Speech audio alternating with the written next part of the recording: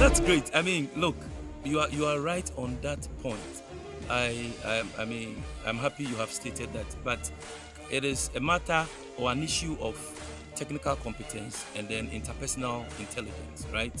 One thing that you should always know is this there are three levels of intelligence there is the abstract intelligence, concrete intelligence, and social intelligence.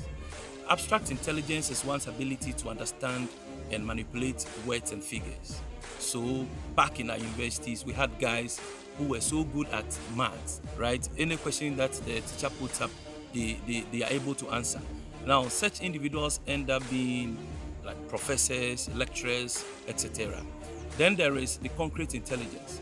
Concrete intelligence is one's ability to understand and manipulate objects.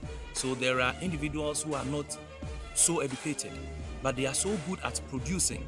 They work with their hands, they, they, they produce things, they manufacture, right?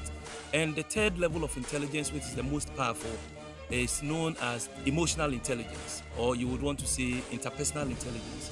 It is one's ability to understand himself, understand other people, and be able to work along with them.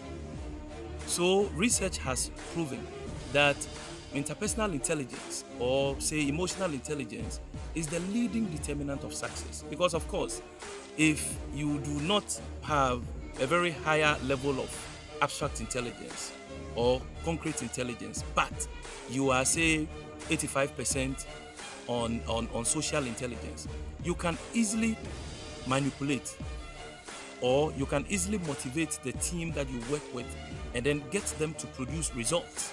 So it is not so much about the, the concrete intelligence or abstract intelligence, but rather I would advise that as you move up in organizations, as you move up in your company, you try and improve upon your interpersonal intelligence. And that will go a long way in ensuring that you become successful. And it's quite easier. You can do it. I encourage you to do so.